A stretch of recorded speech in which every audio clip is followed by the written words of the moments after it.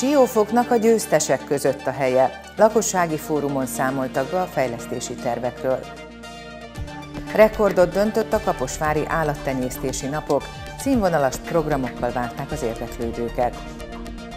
Kistérségi szomszédolás a somogyi falvak kapcsolatait erősítették. Jó estét kívánok! Önök a Somogy Televízió híradóját látják. Óriási tapasztalat, rutin és kapcsolatrendszer határainkon belül és kívül is, ezekkel a szavakkal jellemezte Vicman Mihály országgyűlési képviselő, Gruber Attilát, a fidesz KDNP Siófoki polgármester jelöltjét legutóbbi lakossági fórumán. Ugyanitt elhangzott, Siófoknak olyan polgármester kell, aki nem harcol a kormány ellen, hanem azzal partnerségben a jó ügyek mentén fejleszti a várost. Siófoknak a győztesek között a helye, ehhez pedig elengedhetetlen a kormányjal való jó együttműködés.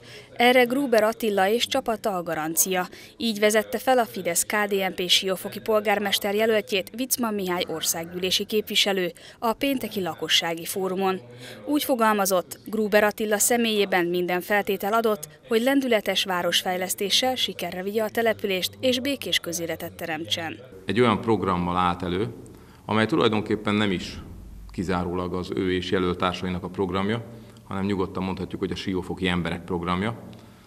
Ők vetették, ha úgy tetszik, ezt a programot papírra, a polgármester jelölt úr és a képviselő jelölt társai ezt csak egységes szerkezetbe foglalták, a csak az itt idézőjeles természetesen, hiszen tavasz végén, nyár elején nem sajnálták az időt és az energiát, 20 lakossági fórum keretében végigjárták a várost, és begyűjtötték azokat a problémákat, kérdéseket, megoldandó feladatokat, amelyekre megfelelő válaszokat kínál ez a program. Gruber Attila kiemelte, Siófokot újra vissza kell emelni régi pozíciójába, hogy ismét a Balaton fővárosa legyen, és ellentétben a jelenlegi vezetéssel nem harcolni kell a kormány ellen, hanem vele partnerségben fejleszteni a várost. Úgy gondolom, hogy Siófok nem engedheti meg magának azt, hogy ellenállóként a jelenlegi kormány jó szándékát keresztbe húzva politizáljon úgy, hogy semmi haszna nem volt. Az elmúlt öt esztendő arról szólt, politikai kinyilatkoztatásokon túl igazándiból a város nem fejlődött. A lakossági fórum vendége dr. Palkovics László innovációs és technológiai miniszter elmondta, a kormány ellen nem érdemes harcolni, és egy polgármesternek nem is ez a dolga. A miniszter utalt a 2012-2013-as 1300 milliárdos adósságra, amelyet a szocialista vezetési önkormányzatok halmoztak fel, és amelyet a kormány teljes egészében átvállalt, hogy a települések tiszta lappal indulhassanak. Példaként hozta fel az azóta is futó programokat, amelyek mind az önkormányzatok javát szolgálják, de ehhez nem harc kell, hanem együttműködés. Azok a programok, legyen ez a Modern Városok program, a Magyar Falu program, ezek pontosan, pontosan az önkormányzatok, az emberek irányába olyan fajta támogatásokat jelenítettek meg, ami szintén több ezer milliárd forint nagyságrendű. A kormány ezt fogja tenni, és én azt gondolom, hogy ha amennyiben a polgármester ebben partner, akkor ezt mindenképpen támogatni fogjuk, és bízunk abban, hogy Siófoknak olyan polgármestere lesz, aki ebben az ügyben eh, partner lesz. A miniszter hangsúlyozta, azért sem érdemes harcolni a kormány ellen, mert a fejlődés kulcsa az együttműködés, a kormány, az önkormányzatok és az emberek közös munkája. Sör és csülök siófokon új őszi fesztivállal várták az érdeklődőket a főtéren. Hamarosan jövünk a részletekkel. A közjó összetart egy közösséget, akár csak egy könyvet, a Szilárd Gerince, jelentette ki Áder János Csurgon szombaton. A köztársasági elnök a Somogy megyei város fennállásának ezredik évfordulója alkalmából szervezett ünnepi közgyűlésen mondott beszédében hangsúlyozta, a közjó különleges holmi, mert abban egymásba oltódik kevesek dicső tette és sokak hűséges ragaszkodása. Mintegy 25 ezer embert vonzott a megújult 13. Kaposvári állattenyésztési napok, amelyet idén már önállóan szervezett meg a Kaposvári Egyetem. A Kán a színvonalas szakmai konferenciák mellett egész napos felhőtlen kikapcsolódást kínált a családoknak. Hagyományosan az állattartók díszes kocsiainak és állatainak felsorakozásával vette kezdetét a 13. Kaposvári állattenyésztési napok. Az állattenyésztés mellett az idei program bemutatta a kapcsolódó területeket is. A korszerű takarmányozás, a mezőgazdasági gépészet, modern technológiák számos példáját felsorakoztatva. Az állattenyésztés ma rendkívül magas színvonalú biológiai, műszaki, informatikai, gazdasági ismereteket igényel. Óriási a felelősségünk a lakosság megfelelő minőségű és biztonságos élelmiszerrel való ellátásában. A fenntartható élelmiszertermelés feltétele a hatékonyság, valamint az állattartás okozta környezetterhelés és az ökológiai lábnyom csökkentése. Az elmúlt időszak, ha visszatekintünk, összességében egy stabil időszaka volt a magyar állattenyésztésnek, fogalmazott Feldman Zsolt mezőgazdaságért felelős államtitkár az ünnepélyes megnyitón. A politikus hozzátette, eredményesnek lenni azonban csak a legjobb munkával lehet, amely munkához a szaktárca is partner. Mi abban vagyunk érdekeltek, és abban kívánjuk segíteni az ágazatot agrár tárcaként, hogy ebben a versenyben hely tudjon állni és eredményt tudjon produkálni. Ezért van az, hogy az ide mostani vidékfejlesztési program keretében több mint 1900 kérelmet tudtunk támogatni, 121 milliárd forint értékben 121 milliárd forintnyi támogatás révén újulnak meg istálók, bővülnek a kapacitások, fejlődik az ágazat. Az idei programban 7 szakmai előadáson csak nem 1700 szakember vett részt. Az állattenyésztési napok színes programjaira pedig több mint 25 ezeren voltak kíváncsiak a három nap során. 3,3 milliárd forintból épül új takarmányozó üzem Böhönyén. A térség vezető mezőgazdasági cége, a Classens Group mintegy 1,2 milliárd forintnyi állami támogatást is kapott a beruházáshoz. Az üzemben az országban egyedülálló módon nedves kukoricát használnak majd. Ezzel a technológiával sokkal energiahatékonyabb és környezetkímélőbb módon állítanak elő takarmányt. Az építkezés Bokréta ünnepén Szijjártó Péter külgazdasági és külügyminiszter arról beszélt, az egész ország érdekét szolgálja a beruházás, így a kormány célzottan támogatja hasonló fejlesztéseket. Nem csak a fejlesztések, a kő vagy a tégla számít egy település életében, hanem az a közösségi szellem is, amely ezt átítatja. Így fogalmazott Fitzman Mihály országgyűlési képviselő Andocson a kistérségi szomszédolás elnevezésű kétnapos rendezvény megnyitóján.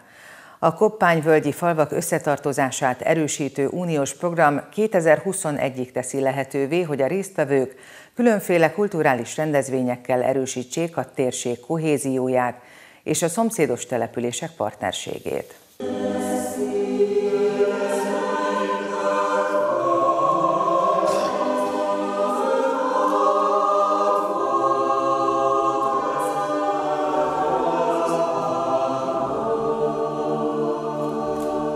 Landos templomában nyitották meg azt a kettőnapos rendezvényt, amely a térség hét települését fogja össze, és kulturális, közösségteremtő rendezvények keretein belül erősíti a szűkebb közösség összetartozását.